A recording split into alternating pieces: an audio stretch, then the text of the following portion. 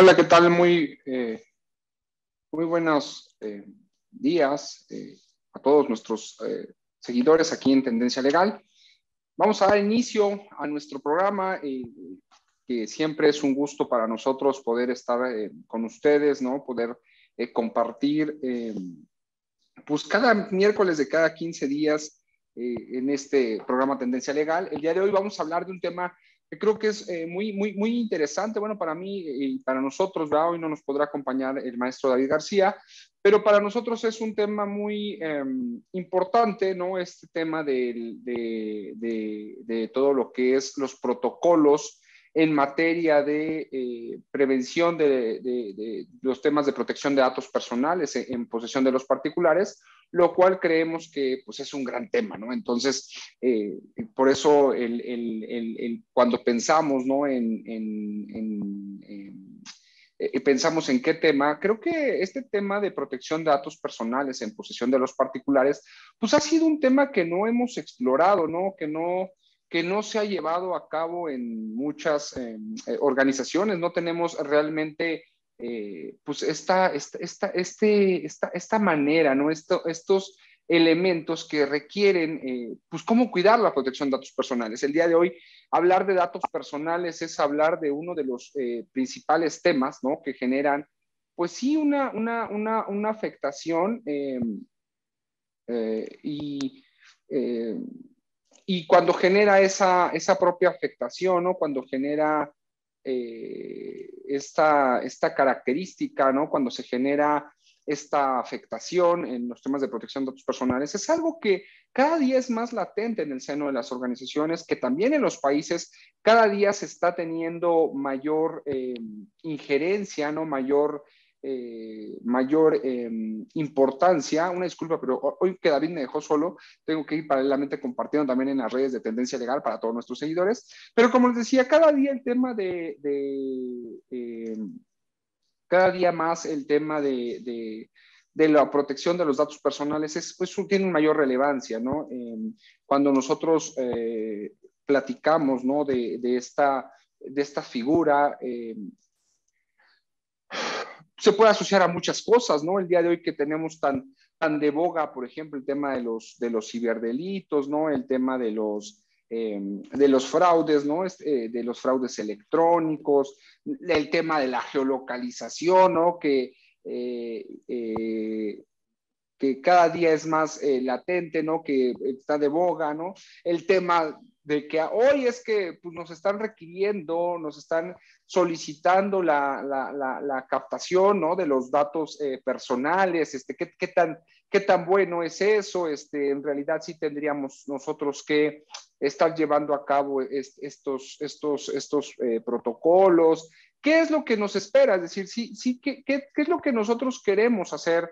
Vamos en, esta, en, estas, en, este, en este tipo de temas, ¿de acuerdo? Entonces, creo que eh, es por eso que hay que atender a este tema de la protección de los datos personales. Adicionalmente, yo podría comentarles, ¿verdad?, que eh, nosotros hemos, eh, bueno, nosotros, ¿verdad? a nivel internacional, cada año se hace una medición de los principales tipos eh, de riesgos que se tiene en, en, las organizaciones y una, una, una de, las, de las cosas que cada día, ¿no? que cada vez también nos damos nosotros mayor cuenta, ¿no? es que es que las propias organizaciones ¿no? Eh, han determinado, por ejemplo, para el ejercicio 2020, a, sorpresa de todos, ¿no? que el mayor riesgo que enfrentan las organizaciones no es por mucho, no es por mucho eh, el tema de, la pandemia, ¿no? O los temas de carácter económico que, eh, que a veces pudiéramos considerar, ¿no? ¿Por qué? Bueno, porque pues, se determinó que la mayor violación que se ha tenido eh, ha sido la, ha sido la, mm, eh, ¿cómo decirlo? Ha sido la, afectación, ¿no? Eh, ha sido em, la afectación o la vulneración a los derechos humanos como un tema pues sí que debe, debe de, ser sorpresivo como un tema, digo, los derechos humanos a, la protección, sí, los derechos humanos a través de la protección de los datos personales, ¿no? Entonces, eh, pues eso es algo que creo que es sorprendente, ¿no? Eh, porque, pues, ¿quién pudiera pensar? No todos quizá pensaríamos que estamos en presencia de la, de la violación, eh, quizá del tema de económico y toda esta parte. Y resulta que no, en materia de gestión de riesgos, eh, pues no fue así. En materia de gestión de riesgos, lo que se realizó, lo que se, se ha estipulado, pues solamente es eh, eh, temas de protección de datos personales. De ahí que, por ejemplo, el programa anual ¿no? que, que, eh, sale a la luz por parte de la OCDE, ¿no?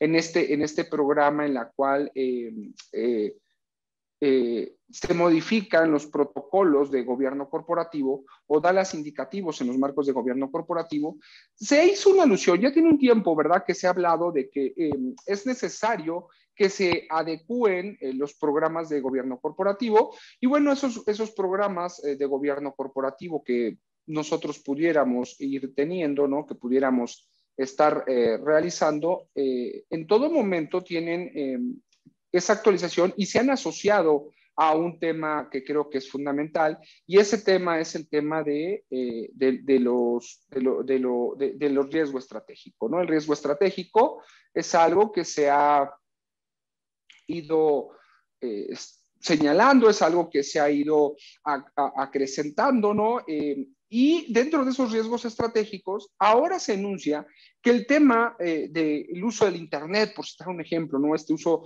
de Internet que nosotros pudiéramos empezar a tener dentro del seno de las organizaciones, pues es uno de los temas que principalmente se tendría que observar, ¿verdad? Se tendría que considerar porque eh, ese, ese, ese, propio, ese, propio, eh, ese, ese, tema em, está generando vulneraciones, es decir, los datos personales, principalmente en el Estado mexicano, hablando aquí de, nuestro país, estamos teniendo un sistema de vulneración. ¿Cuál es ese sistema de vulneración? Pues que no están siendo debidamente protegidos, ¿no? Que no están siendo debidamente actuados. Eh, en muchas de las organizaciones, en algunas, porque si nosotros hablamos del 100, quizá algunas organizaciones o personas físicas también, tengan el tema de la, del aviso de privacidad, ¿no? Y a veces y en muchas ocasiones consideramos o pensamos que el cumplir con la Ley Federal de Protección de Datos Personales en posesión de los particulares tiene que ver exclusivamente con el tema de contar con un aviso de privacidad, lo cual es un error eh, totalmente porque no es eso, ¿no? El aviso, el aviso de privacidad no, no lo es todo dentro del seno. El aviso de privacidad es uno de los eh, primeros eh, elementos, es uno de los primeros elementos que se puede tener, es decir, es mi manifestación respecto de cómo voy a llevar a cabo mi actuación, pero no es, pero no es para nada eh, la determinación. Es decir, te estoy enunciando que yo tengo un sistema que recojo determinados datos de carácter personal de, de los sujetos, de las personas físicas, y pero eso no conlleva de ninguna forma que nosotros también o paralelamente no tengamos que tener con las políticas internas. Políticas escondidas dentro de los marcos regulatorios en el tema de la protección de los datos, de, la propia ley, reglamento, lineamientos que existen en este ámbito. Pero ahí están señaladas, ahí se dice cuáles serán esas propias eh, políticas que nosotros tendremos que ir a, señalar, ir a, indicar de acuerdo eh, bajo, este, bajo este entendido y que eh, pues si no las tuviéramos, ¿no? si no em, las eh, acomodáramos, pues entonces, bueno, bueno, creo que ya me trabé, a ver, déjame ver. Bueno, bueno. Vamos a ver qué pasó porque creo que nos, nos quedamos este, pasmados. Ya, ya, ya regresé, creo, a ver, déjame ver. No sé qué está pasando, un segundito, por favor. No sé si allá en, el estudio me pudieran indicar si estoy pasmado o qué pasó. Ya, ya regresamos, perdón. Nos perdimos unos, unos momentos, ¿verdad? Nos perdimos un instante. Esperemos que esto pues no, no vuelva a pasar. Ajá, ya, ya estamos por aquí. Bien. Entonces, como les comentaba, ¿no? En esta eh, adecuación, en esta, eh, en, esta, en este actuar, ¿no? Por parte de, de qué hacer como, sujetos, ¿no? ¿Qué, qué, qué realizar en esta, creo que tendremos que ir nosotros también y verificar cuáles son los actos, los, los, protocolos, ¿de acuerdo?, que se requieren. Si no tenemos esa, esa misión, esa visión de cuáles son propiamente esos, esos sistemas, esos protocolos, pues en realidad entonces no estamos llevando a cabo un debido cumplimiento del marco de la ley de protección de datos personales en posesión de los particulares. ¿Por qué lo digo de esta forma? Bueno, pues quizá, y, siendo muy, muy específico, porque pues se debe de cumplir, ¿no? Cada vez también son más las leyes que nos requieren eh, tener esta, esta atención o esta, esta, este, este debido actuar como, como parte de los, de los protocolos a los que nosotros nos vamos a ir enfrentando, eh, por ejemplo, la Ley Federal de Protección de Datos Personales, digo, de la Ley Federal de, de, Ley Antilavado, ¿no? Ley Federal para la Prevención e Identificación de Operaciones con Recursos de Procedencia Ilícita, pues en cada momento, ¿no? Más nos ha ido requiriendo que se tenga este, este debido actuar, ¿de acuerdo? Este, este debido ir realizando estos, estos sistemas o protocolos, ¿de acuerdo? Y pues no en todos los casos, no sé qué pasó, a ver, déjenme ver, creo que estamos teniendo problemas en transmisión. Ya, ya, ya, ya, ya está regresando esta parte. Eh, este, entonces, en este actuar, hay que atender porque la Ley Federal para la Prevención e Identificación eh, de Operaciones con Recursos de Procedencia Ilícita, pues requiere que sea un marco concordante con el tema de la protección de los datos personales. Necesitamos forzosamente que tengamos estos, estas, estas actuaciones, ¿no? que se observe, que se tenga eh, todo un sistema protocolario. En caso contrario, pues la realidad es que no tendríamos eh, algunas de las, de las funciones, ¿no? de, las de, las debidas actuaciones, y estamos siendo incongruentes en muchas ocasiones, aún en los medios de defensa que llevamos a cabo en ley de lavado de dinero, nos sirve ¿no? Eh, el tener el manual y tener los elementos en marco de confidencialidad y pues toda esta, toda esta actuación ¿no? que tendríamos que ir nosotros eh, desarrollando, actuando para poder contenerlos, ¿no? para poder estipular cuáles, cuáles serían esas, esas, esas actuaciones, ¿de acuerdo? Entonces, bajo ese entender, ¿no? Nosotros iremos o vamos a ir realizando en este, a partir de este momento un repaso, ustedes me lo permiten, ¿no? De los principales eh, temas que, que, que, nos requiere esta, esta, esta, este, este, este deber ser, ajá, en, en, en, en los temas de, de temas de protección de datos personales en posesión de los particulares, porque creo que sí y siempre será un tema eh, de mucho interés, de mucha importancia, ¿no? Que se realicen eh, los mismos, ¿no? Siempre tendremos nosotros que ir estipulando cuáles son esas características a las cuales pues nos vamos a tener que ir ya enfrentando en cada uno de los supuestos, ¿de acuerdo? Entonces, si me permiten, vamos a, ponerles una breve presentación que hemos eh, preparado, ¿verdad? Que hemos realizado en, esta, eh, eh, para el día de hoy, ¿no? Este, siempre creo que es bueno complementar con, con, alguna información adicional o algún eh, tema que nos permita llevar a cabo estas funciones. Denme un segundo, por favor. Déjenme ver.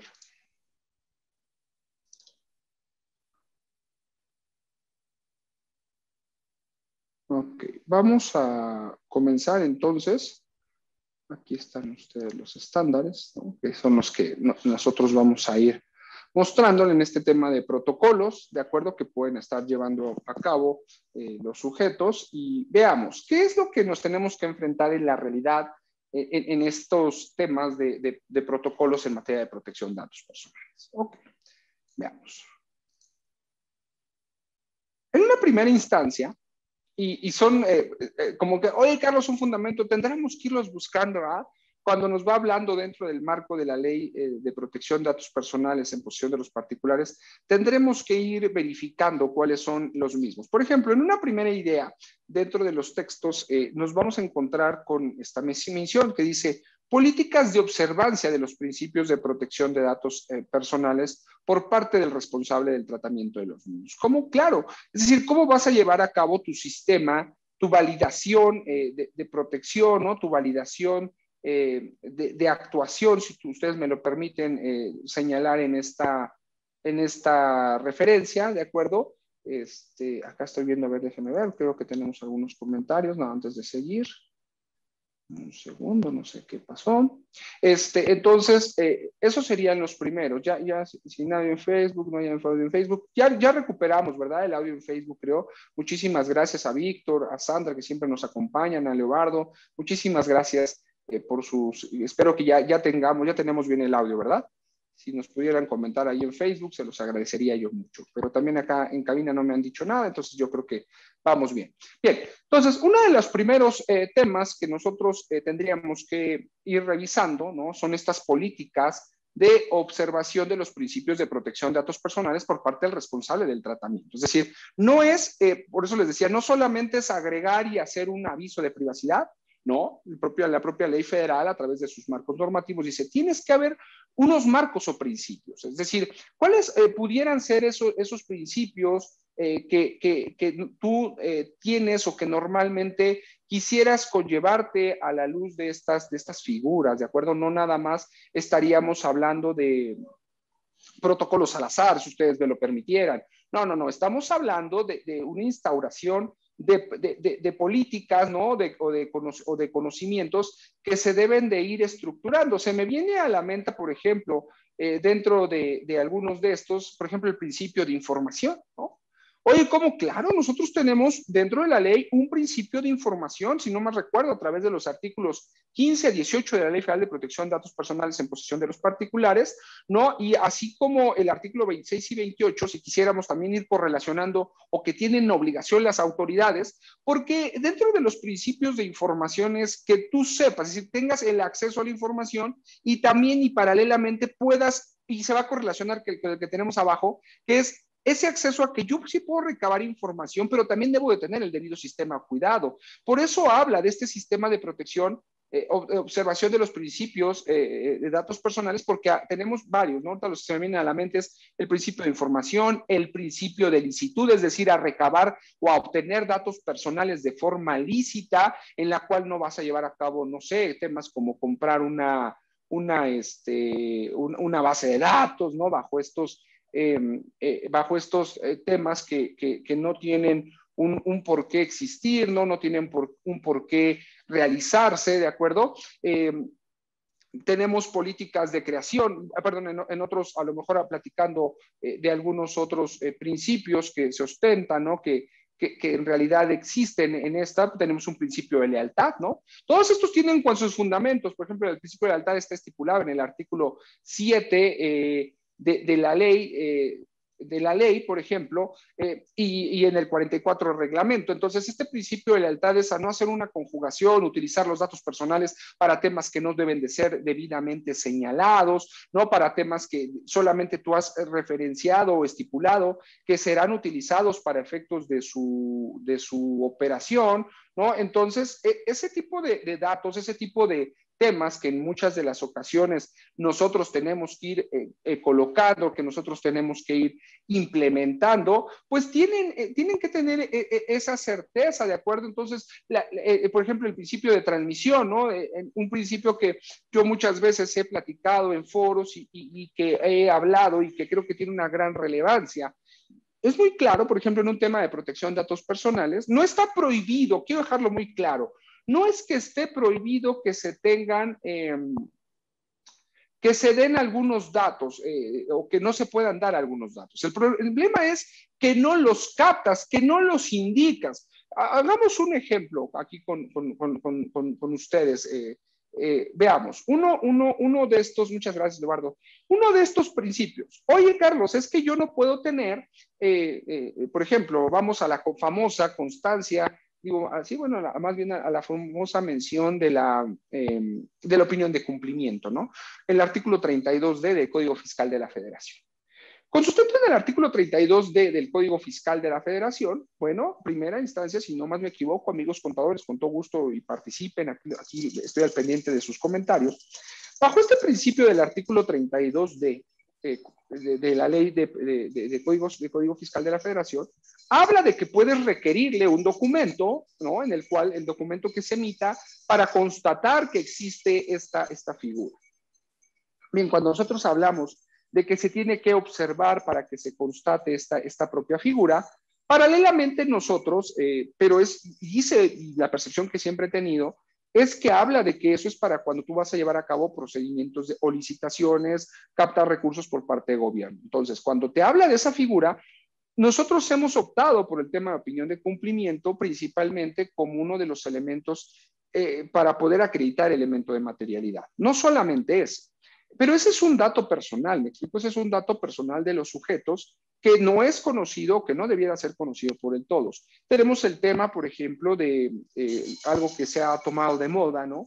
Que es el hecho de que tú puedas, em, que tú puedas eh, determinar, ¿no? Que tú puedas requerir hay temas como el estado de cuenta del, proveedor, eh, el, INE, este, que puedas determinar tema como la cuenta bancaria, registro federal de contribuyentes, lo cual pues en algunos casos sí es muy, muy válido, ¿no? Sí es muy em, perfectible, ¿no? Que se puedan requerir ese tipo de datos. El problema no es que los requieras, el problema es que no forman parte de la operatividad.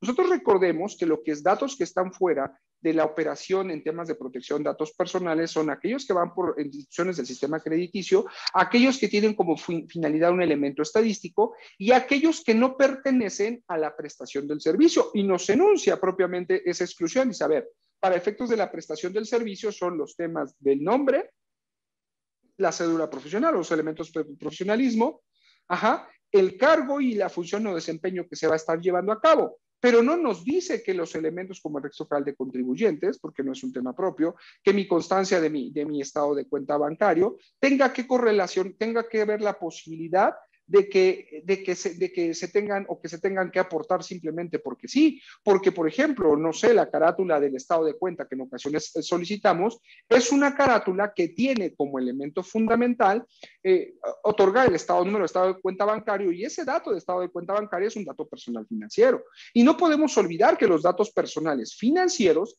tienen que requerirse a través de un consentimiento expreso expreso, no tácito, no presuncionalmente, no expreso a través de un mecanismo de firma, a través de un procedimiento de validación, a través de un correo electrónico, de algún argumento. No se puede tener un elemento presuncional de otra forma. Por eso reitero, no quiero decir que no se pueda, quiero decir que se tiene que complementar el aviso de privacidad. Tenemos que complementar el aviso de privacidad para paralelamente eh, eh, observar, ¿verdad? Para paralelamente justificar dentro de nuestras políticas cuál será el sistema o funcionamiento que se deba de tener. Ya el día de hoy hay una resolución en y ante un, está, es, es, de carácter público, en el cual una persona requirió, ¿verdad? Dijo, oye, ¿cuál es el tratamiento específico? Voy a poner otro ejemplo, con todo respeto para alguno de los colegios eh, que conozco. Ahora dicen, es que nos tienes que proporcionar tu registro federal de contribuyentes para que sea señalado en las constancias de los participantes. Pero ¿qué tiene que ver mi cédula, mi, registro federal de contribuyentes con la cédula o con el certificado o constancia que se le va a emitir a los demás? ¿Por qué vas a trasladar un dato personal financiero dentro de un documento que no requiere esas características? Y dos, yo tengo mi propio derecho a oposición. O sea, yo entiendo tus protocolos, quizá me dirás, pues entonces no puedes dar clase aquí, pero eso no quiere decir que tú puedas por sí mismo tener un marco de tratamiento si aparte adicionalmente en tu aviso de privacidad no está señalado pues esa, esa estructuración, me explico, no está eh, eh, eh, enunciado para cuál es la finalidad que tú lo vas a ir queriendo. Otro elemento, por ejemplo, en el marco de traslación o de transmisión de información, algo que también no está, no, reitero, no es que no esté permitido, es que hay que justificar dentro, y estoy en el parámetro uno porque hablamos de los principios de la protección de datos personales, uno de ellos tendría que ser, eh, y lo he dicho porque lo sufrimos mucho, ¿por qué trasladar mi información personal a un proveedor de servicios? Es decir, cuando yo lo traslado a mi proveedor emisor de certificados digitales, está muy bien, pero entonces mi aviso de privacidad tiene que señalar que yo tengo un acto de carácter traslativo, es decir, que sí llevo a cabo la transmisión a terceros con los cuales yo no tengo, yo, yo titular de los datos personales, no tengo una actuación y los traslado, porque cuando yo los coloco en Compact, FEL, COI o todas cualquiera de estas empresas, estoy trasladando en el marco de la información. ¿Cuál es el sistema o resguardo? ¿Cómo informo a mis, a, mis partes? Pues que tengo esta, esta característica en la cual en efecto, yo estoy transmitiendo, ¿no? De viva, de viva, de viva voz estos, eh, pues estas estructuras, ¿no? ¿Qué es lo que yo em, podría estar generando? ¿De acuerdo? No es para nada, reiterando, no es lo mismo eh, decir, pues lo hago, o pensar que las leyes es un marco, o la ley de protección de datos personales es un marco pues que no hay que hacerlo. Lo que pasa es que los ciudadanos tendremos que llevar a cabo el propio ejercicio de la función de los derechos humanos. Y creo que cada vez va más en boga. Yo hace rato lo decía. Por ejemplo, cuando hablamos aquí de políticas eh, eh, o principios de, protección de datos personales, algo que ustedes saben que aquí en, tendencia legal, en de nuestra firma y de consultores, pues es un tema fundamental, ¿no? Que llevamos, que es el tema de lavado de dinero, y estos barcos de protección en, estos temas de, prevención de lavado de dinero que tienen cada día mayor injerencia, que, tienen cada día eh, una mayor eh, eh, atención, ¿no? que se requiere tener una, una, una mayor atención, pues entonces, por ejemplo, la información que se generaliza, dice la Ley Federal de Protección de Datos Personales, Em, estipula en, algunos em, de sus elementos, ¿no? de sus políticas que a veces nos, va a agregar, ¿no? nos, nos va a ir eh, señalando. Eh, eh, por ejemplo, si no más me equivoco por ahí del artículo 50 de la Ley de Prevención del Lavado de Dinero y correlativamente quizá con algún 34 también de la propia Ley de Protección de Datos Personales, señala que la información que tiene que no se puede eh, vislumbrar información que por marcos de ley tiene guardo de reserva y confidencialidad. Esa es la ley de protección de datos, de, prevención de lavado de dinero. Los documentos, el expediente único de identificación es información que tiene sistema de resguardo de confidencialidad y que no puede ser entregado a otra persona que no sea un marco de una autoridad.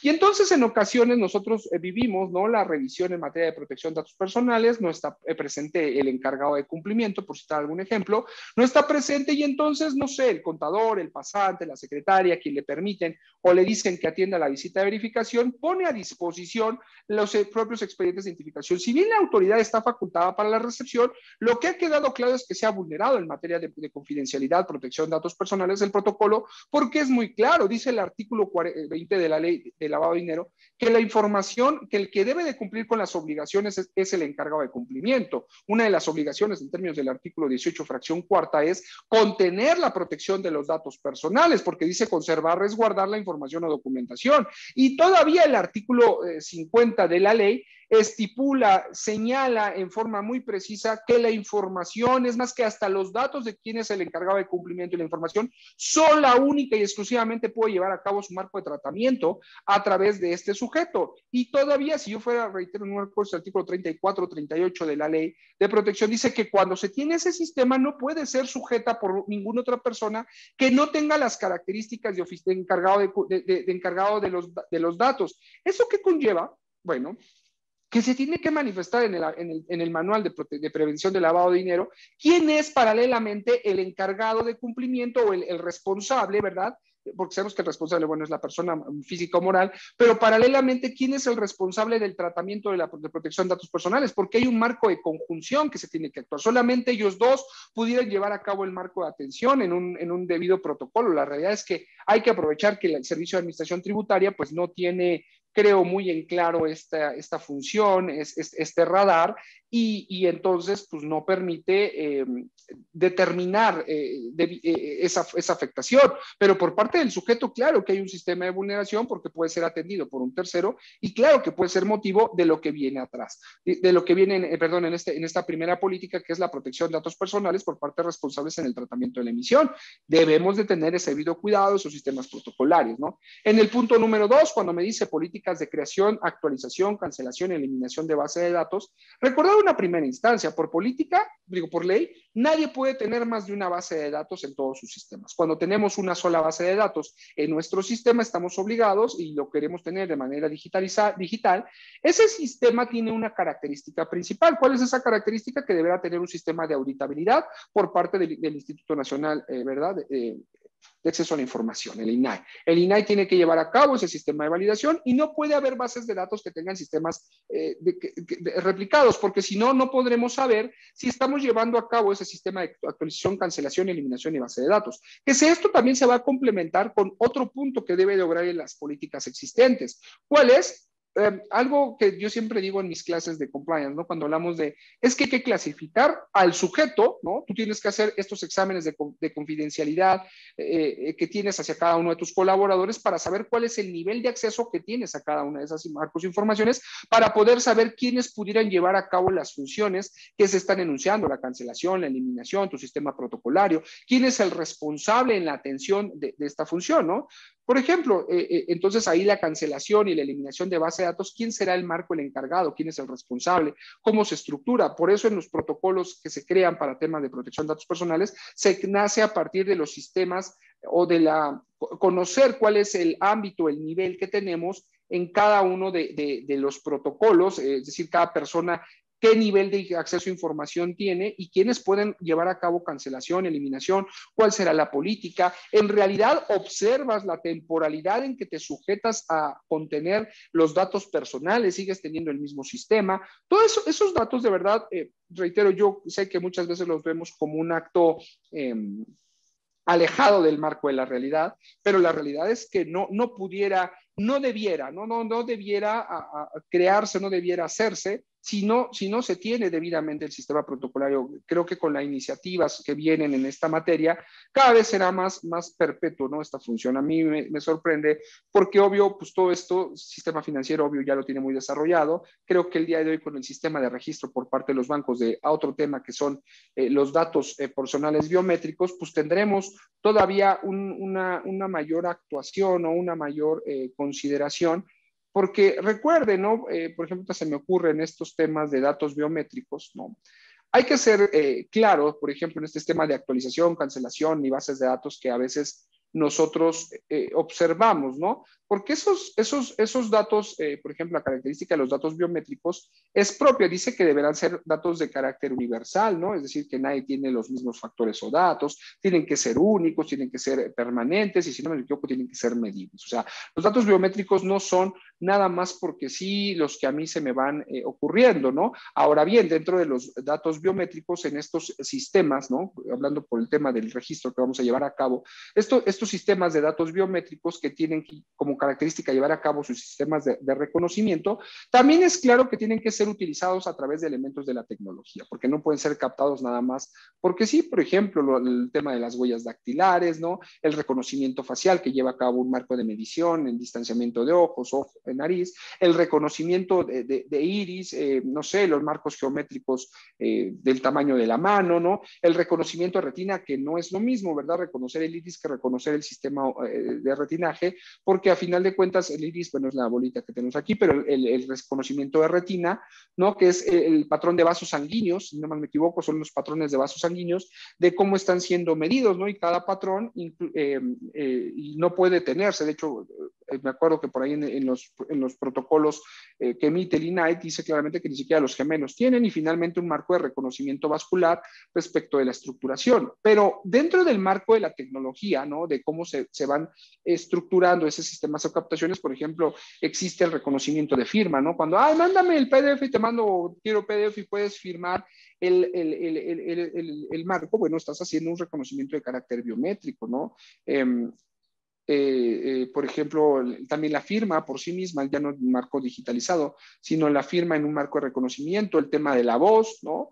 pregúntenle a, tan es así, digo que a mí me sorprende, ¿verdad? Porque a veces hablamos y decimos, ah, es que, ¿cómo que van a registrar mis datos biométricos? Pero no te preocupa a tu Alexa, que tiene un sistema de patrón de reconocimiento de voz específico, ¿no? Se va ocupando, se va actualizando y este, va reconociendo propiamente quién es la persona o las voces que normalmente se generan y desconoce algunos elementos. Otra figura normal que le permitimos a nuestros hijos con estos juguetes del Furby, ¿no? Que el Furby se va adaptando específicamente al sistema de voz específico y, ahí no nos preocupa, pero la realidad es que tiene un sistema de reconocimiento importante, ¿no? Eh, la forma de caminar es otra forma, cuando te graban en los, edificios, cuando te graban en tus oficinas, pues hay un, marco de captación de datos personales biométricos que quizá tú no estás generando. Oye, pero es que yo no estoy captándolo. Si lo tienes en un sistema que tiene un sistema de grabación y aunque tenga un sistema de, de, de borrar cada determinado tiempo, tú llevas a cabo ese sistema, es decir, tú estás capturando en los pasillos, en la forma,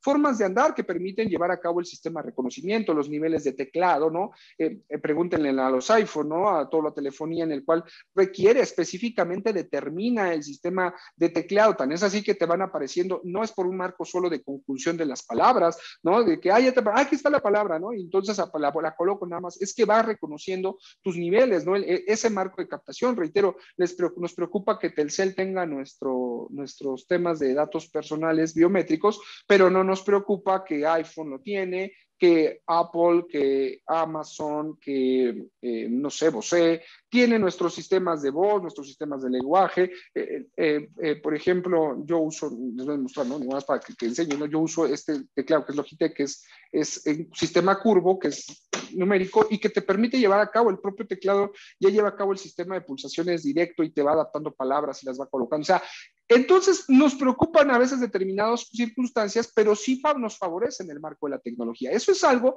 que, reitero, no está mal, nada más que nosotros no verificamos las políticas de protección de datos personales, pero estos sistemas de protección de datos personales, pues te adaptan. Si ustedes ven, eh, no sé, eh, hoy que todos somos fanáticos de, las plataformas eh, de, conferencias, dentro de estas plataformas de conferencias, por ejemplo, Zoom tiene un, tiempo para acá que cuando le das grabar, ¿verdad? Dice, oye, la sesión a la que estás ingresando, das tu autorización para que, para que te graben. Y tú dices, sí, sí, doy mi autorización. O sea, se adaptan, reiterando. No es que sea indebido. El problema es que hemos olvidado, creo, en la mayoría de las organizaciones, entender que esa afectación que estamos viviendo atiende a estas características, atiende particularmente a que tenemos que ir adaptando los sistemas protocolarios y no solamente el aviso de privacidad. Tenemos el tercero, que son las políticas e implementación de medidas para garantizar el cumplimiento de la protección de los datos personales en el tratamiento de los mismos. Claro, pero ahí hay que ser claro, en, el punto es cuál es el propio tratamiento, qué es lo que en realidad yo estoy eh, desplegando, qué es lo que en realidad yo estoy generando en, esta, en este actuar, ¿de acuerdo? No es nada más em, una, una actuación eh, de facto, o sea, cuando me habla de, dice, políticas implementación para eh, medidas para garantizar el cumplimiento de los principios de protección de datos personales en el tratamiento de los mismos, veamos, hay políticas tan simples y, lo voy a señalar. A ver, si yo te estoy un despacho contable, un despacho jurídico, eh, ¿quién determina quién, cómo se lleva la información a través, por ejemplo, de las laptops? Cuando tú sacas una laptop de una oficina, la llevas a un sistema de gestoría, captas información por parte de la propia gestoría, estás llevando a cabo o puedes estar llevando a cabo, uno, te estás llevando no la constitutiva, pero los datos de las personas físicas que constituyeron el, el acto, pues sobran en el acto constitutivo. Entonces, una cosa es los datos personales instruidos y otra de la persona moral, que como lo dice la propia norma, y aunque ya hay una jurisprudencia que reconoce que hay datos personales en la persona moral, pero de momento, por lo menos a nivel de marco legal, pero también te estás llevando los datos personales de la persona física. O sea, la persona física, ¿cuáles son esa, esa información? ¿no? ¿Cuáles son esas características que se, que se tienen, ¿no? que no estás permitiendo, que te estás llevando a través del acta constitutiva, estás manifestando que vas a captar información, datos personales de los socios, porque a final de cuentas los tienes a través de este instrumento. ¿Quién permite, quién valida qué información va en la laptop? ¿no? Por eso muchas empresas eh, que tienen, ¿verdad? Y se gastan millones en, en desarrollos de su software, de los sistemas de nube, es porque todo el sistema de modificación, adaptación, nosotros lo vamos a tener que tener debidamente controlado no, a través eh, ni única ni exclusivamente de, de estas actividades que no tienen una, una, una, mayor razonabilidad. Cuando sale la laptop y regresa, ¿cómo sabes si la misma fue interferida, si se colocó una USB para sacar información, datos personales, INES, IFE? ¿Quién autorizó que la, la, cédula de identificación fiscal de personas físicas se mande a través del WhatsApp? ¿Cómo se captó el teléfono recibido en marco del WhatsApp? ¿Es de la empresa? ¿Es de la persona física? ¿Por qué la persona física, si es su aparato propio, tiene que llevar a cabo la, la transmisión de la documentación a través del sistema de él? cómo al retirarse de la organización sabes que borró integralmente la información, que no fue vulnerado. Porque ahí viene otro punto, ¿no? Dice claramente la ley que cuando el sistema es vulnerado, es decir, cómo constatas que se ha generado esa información, que se ha determinado. Todo eso son las políticas en protección de datos personales en posesión de los particulares. Y nosotros lo vemos a lo mejor a través del sistema contable, pero pensemos, no sé, en una clínica en la cual todos los datos personales son de, de manera sensible. Pensemos en los protocolos, información del COVID que hoy nos hace llegar nuestros trabajadores y que cuál es el sistema a través del que vemos, las pruebas de COVID, que es un dato personal sensible que recibimos a través de un correo electrónico, dónde se recibe el correo electrónico, cuál es el sistema de resguardo, archivaje del dato, del dato personal, porque dice claramente ¿no? que los datos personales sensibles, como son los temas médicos, no podrán por ningún motivo o no deberán eh, o tendrían que ser eh, eh, tema de, una, de una base de datos. Claro, cuando es por causa de fuerza mayor, pues sí, claro que ahí sí lo permitiría, pero aún así estás obligado a otra política que hablando del tema uno, que es el sistema de disociación, es decir, que no se observe quién es la persona. Y entonces nosotros subimos al protocolo COVID, Carlos Pérez tiene COVID. Pero tienes que hacer un sistema de asociación, ponle cuál es el número de trabajador, prestador de servicio, proveedor, no es nada más, eh, digamos, la, la, propia determinación de ya tengo el protocolo, ya tengo el aviso de privacidad. El aviso de privacidad, el aviso de privacidad es el resultado de tus elementos protocolarios. Y reitero, estas, ahí búsquelas, ahí están en, todo el marco de, ley para que no, no, no me, me, no va a decir, Carlos nada más nos está eh, hoy eh, cuenteando. No, no, no, para nada, jamás haría eso. Política de implementación de medidas para garantizar que el aviso de privacidad sea respetado en todo momento por el responsable o por el tercero. Entonces, por eso, ¿cómo haces que Compact eh, te, respalde? Porque, bueno, ya me cansé de Compact, voy a cambiar mi sistema de paquetería a otro. Ah, muy bien, vámonos. Oye, ¿y cómo borraste tus socios? ¿Borraste tus, tus trabajadores? ¿Borraste a quién le pasas? Porque dentro de tu sistema de captura está, pusiste, le diste a Compact, le diste a estas empresas, le diste el RFC, le diste el, el número de cuenta bancario, le diste su domicilio. ¿Qué crees que nada más es me agarro y me cambio y pues ya, ya no sigo con ese sistema de paquetería y me voy a otro? Porque hiciste un sistema de vulneración, porque después a mí, ¿por qué me tienen que andar promoviendo? Me tiene que estar llegando información de otro tipo de datos. El problema es que hay que aprender a, generar y a sustentar. Algo que nos ayuda, y siempre lo he dicho, es que las multas no benefician en mucho a los sujetos obligados, que es uno de los temas que se busca, ¿no? Con estas iniciativas de que ya también, pues si la afectación es para mí, no para ti, Estado, entonces, ¿por qué no se me atiende debidamente en, cada uno de, estos eh, protocolos, ¿no? Veamos, hay otras, este, realmente son eh, ocho políticas, si no me equivoco, otra, ¿no? La política simplemente de, de, de, seguridad administrativa, técnica y física que permita proteger los datos personales contra daño, pérdida, alteración, destrucción o el uso o acceso a tratamientos no autorizados. Cuando te habla de esta política, vean, dice, a ver, ¿cuál es tu, la vas a subir a la web porque todo está muy padre, súbelo todo a mi RP, perfecto, Nada más que cuando haces el sistema de digitalización, reitero, necesitas un marco de certificación y paralelamente tienes que llevar a cabo cuál es el sistema de vulneración y conocer cuando es vulnerado. Porque reitero, cuando la base de datos, estos sistemas o datos, tú tienes que tener este sistema de reconocimiento de cuáles son los datos personales que han sido vulnerados, ¿cómo vas a llevar a cabo el aviso si, no sé, una, institución educativa, ¿no? Eh, se cambia de una institución a otra institución y de repente este, pues ya me buscan de otras instituciones educativas porque, claro, el, de ventas, el gerente de estas áreas, se llevó la base de datos. Oye, ¿y por qué a mí, la determinada institución educativa, no me ha informado que su sistema, que su base de datos ha sido, debida, ha sido vulnerada por parte del sujeto? Tiene la propia obligación principalmente cuando son datos, reiteros, sensibles o financieros, y tiene que publicarlo y tiene que hacerse coherente y hacerse responsables del propio marco de vulneración de los datos personales que se han activado. Política de confidencialidad de los datos personales durante y después de su tratamiento por parte del responsable de tercero la confidencialidad integral. Tú no tienes por qué estar dando, eh, reitero, datos personales que te di para tu sistema de enajenación, de ventas. Este, tienes que deshacerte de ellos. Si tu institución va a cerrar, pues, ¿no? pues tienes que llevar a cabo tu sistema de, determinación de, de, los datos personales. Entonces, cada vez, reitero, es, es más importante eh, el que las organizaciones sí volteen a ver esto.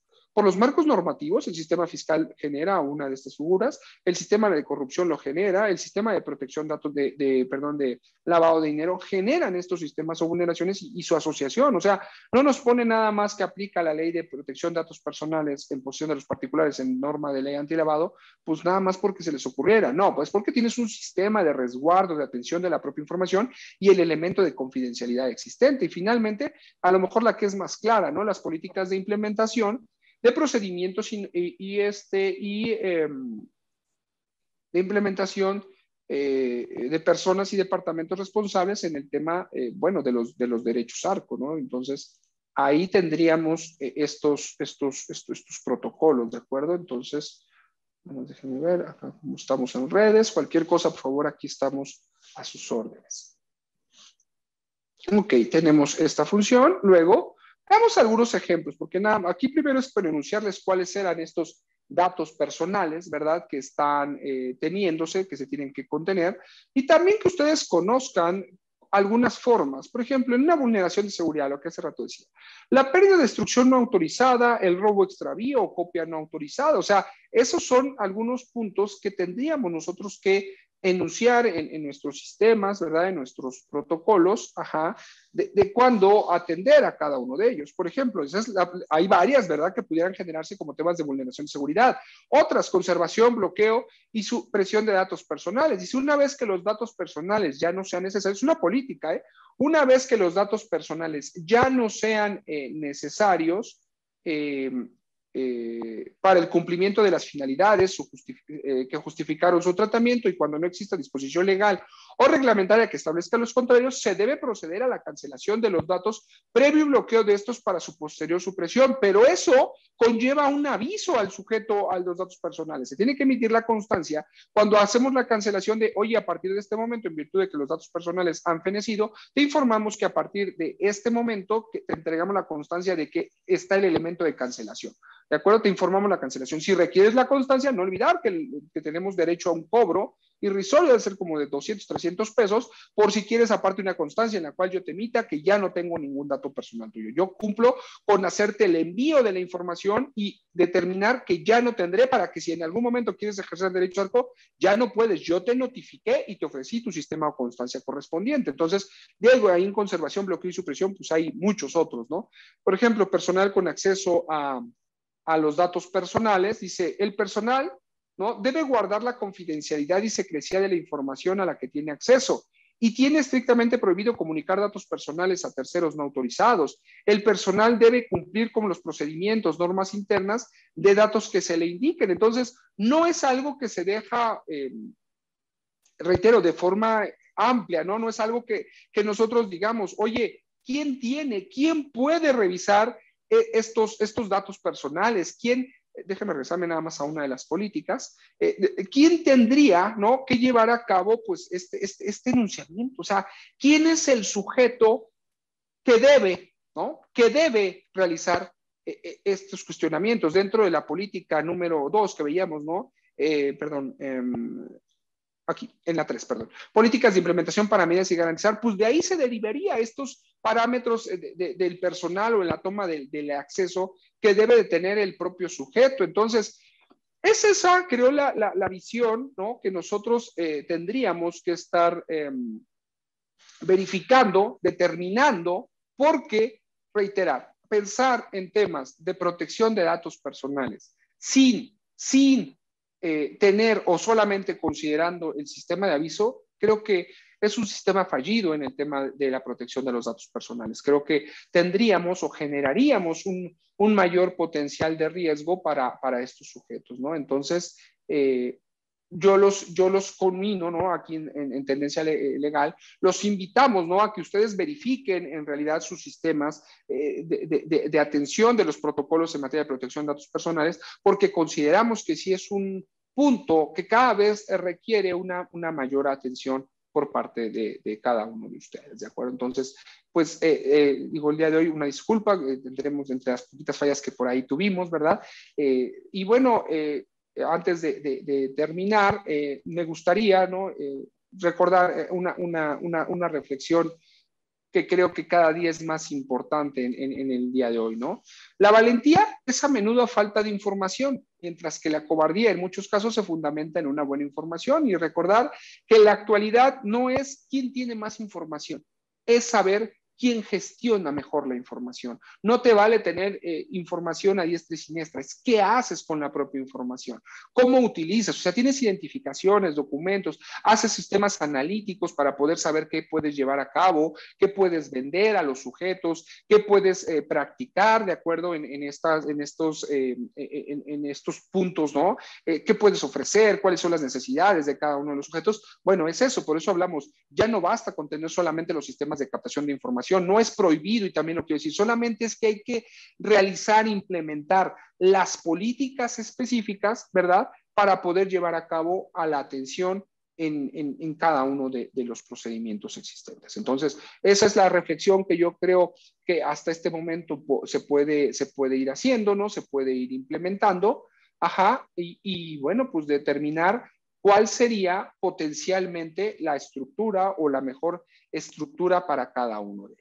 Pero bueno, pues eh, déjenme revisar, creo que no tenemos algún comentario o duda de estos momentos en, las redes sociales, eh, pero bueno, pues les agradezco eh, siempre, ¿verdad? y bueno, me queda, no me queda a mí más que eh, invitarles. Paralelamente estamos también ahorita en el evento en Canaco, en Cámara de Diputados, este, atendiendo, ¿verdad?, a, qué es lo que se está haciendo. Invitarlos a nuestro webinario que tendremos tanto en Tendencia Legal como en CI de Consultores el próximo 29 de junio, este, en el tema de cómo atender los requerimientos y visitas eh, de autoridad de la ley antilavado. Creemos que es un tema potencialmente y muy importante, principalmente porque estamos viviendo, ya se liberaron o están llevando a cabo las prácticas de visitas, así como requerimiento de información por parte de las administraciones locales, lo cual está generando un boom, un boom en atención a esta a estas visitas de verificación. Eh, ya se han presentado varias, ¿no? Eh, entonces, ahorita de lo que tenemos conocimientos que se está revisando ya el tema de outsourcing por fin, se está revisando el tema de la, de la, este, eh, se me fue, Ah, intermediarismos inmobiliarios y el tema, eh, por ahí también tenemos algunos de blindaje. Entonces, pues atenderlo, ¿no? Eh, creo que es importante y bueno, pues nuestro compromiso es transmitirle también información de cómo atender, ya sea una visita de verificación, un requerimiento de información y bueno, pues los esperamos el próximo 29 de junio. Ahí está el correo de cursos arroba consultores.mx para que nos acompañen y adicionalmente también para nuestros, uh, nuestros amigos de, de, de, la ciudad de Mérida y también en línea tendremos eh, buscando en estos que ya hay semáforos verdes y que bueno, pues intentar regresar a esta normalidad. Los esperamos en nuestro seminario en, temas inmobiliarios, arrendamientos, servicios, obvios servicios profesionales, fe pública, que llevaremos a cabo los días 8 y 9 de junio, tanto en modera presencial allá en Mérida, así como a, toda, a todo el resto del país a través del formato online. Y bueno, pues los esperamos también eh, contar con su participación y bueno, pues no me queda más que eh, agradecerles en, este programa en, aquí en tendencia, eh, en tendencia legal, ¿verdad? Que nos hayan acompañado una semana más. La siguiente semana, saben, aquí en tendencia, pues buscaremos tener estos temas. Cada día tenemos más y más temas eh, que, se van generando. Buscamos salir un poco de a veces de los temas fiscales y outsourcing, claro que nos gusta y claro que nos encantaría, pero a veces hay que buscar otros temas que creemos que eh, el tema de la gestión de riesgos cada vez es más importante en el seno de todas las organizaciones. Y bueno, pues siempre buscando, ¿verdad? Y bueno, pues no me queda más más que agradecerle, Fer, muchísimas gracias a Leobardo, a, la licenciada Margarita, siempre un gusto eh, saber que nos, nos acompaña en nuestros eventos. Muchísimas gracias a Mike Vázquez, ¿no? Entonces, a Sandra Díaz, a Víctor Bravo, también muchísimas gracias por haber estado el día de hoy aquí en Tendencia Legal. Y bueno, pues soy su servidor, el maestro Carlos Alberto Pérez, y bueno, pues hasta aquí en la emisión del día de hoy. Muchísimas gracias y nos vemos dentro de 15 días. Ya en el horario de a partir de las 10 de la mañana, ya estará fijo porque andábamos jugando, ya a partir de las 10 de la mañana por inicio. Muchísimas gracias y que tengan un excelente día.